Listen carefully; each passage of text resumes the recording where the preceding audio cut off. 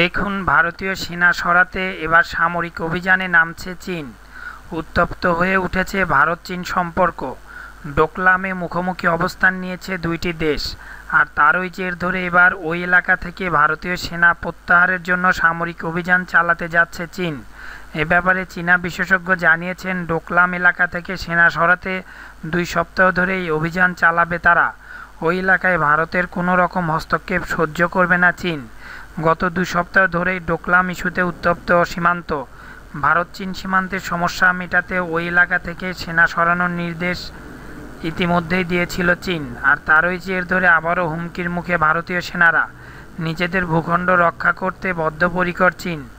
উল্লেখ্য, গত ষোলোই জুন থেকেই উত্তপ্ত পরিস্থিতির সৃষ্টি হয়েছে। ডোকলামে চীনা সেনাকে রাস্তা তৈরিতে বাধা দেয় ভারত, তারপর থেকেই দুই দেশের মধ্যে শুরু হয়ে যায় উত্তেজনা। ভারতের দাবি, ডোকলাম সীমান্ত অঞ্চলটি তাদের দেশের অন্তর্গত। কিন্তু চীনের দাবি আঠারোশো নব্বই এর ব্রিটিশ ও চীনের এক চুক্তি অনুযায়ী ওই অঞ্চলটি তাদের। For latest news please subscribe my channel thank you everybody